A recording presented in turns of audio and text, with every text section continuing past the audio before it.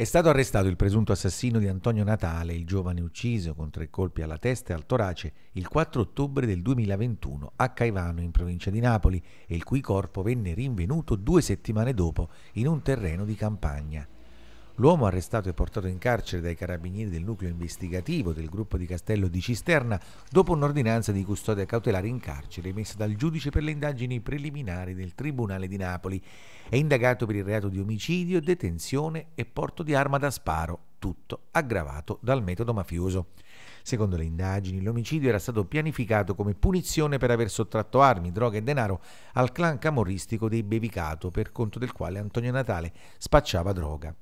Il giovane sparì il 4 ottobre del 2021. I familiari raccontarono agli inquirenti che prima di non avere più notizie Antonio si era recato a Napoli con un amico per comprare dei vestiti, dichiarazioni poi confermate dalle telecamere di sorveglianza interna dei negozi in cui il giovane si era recato.